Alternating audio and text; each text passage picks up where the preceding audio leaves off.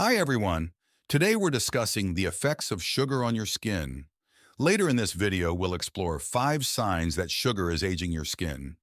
Sugar damages your skin through glycation, where sugar molecules attach to proteins, forming harmful free radicals known as advanced glycation end products, AGEs. As AGEs accumulate due to increased sugar intake, they damage surrounding proteins, leading to skin deterioration. 1. Sugar damages collagen and elastin, the proteins crucial for skin firmness and elasticity, causing fine lines, sagging, and wrinkles to develop. 2.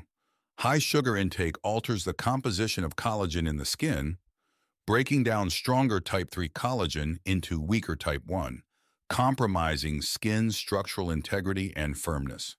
3.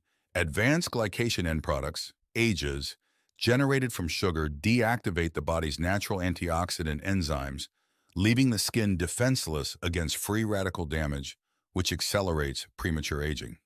Here are the signs that sugar is aging your skin, as outlined by the British Journal of Dermatology. 1. Hard and shiny skin surface. 2. Deep cross-hatched lines above the upper lip. 3 skin discoloration and hyperpigmentation. 4. Deep crevices, particularly around laugh lines.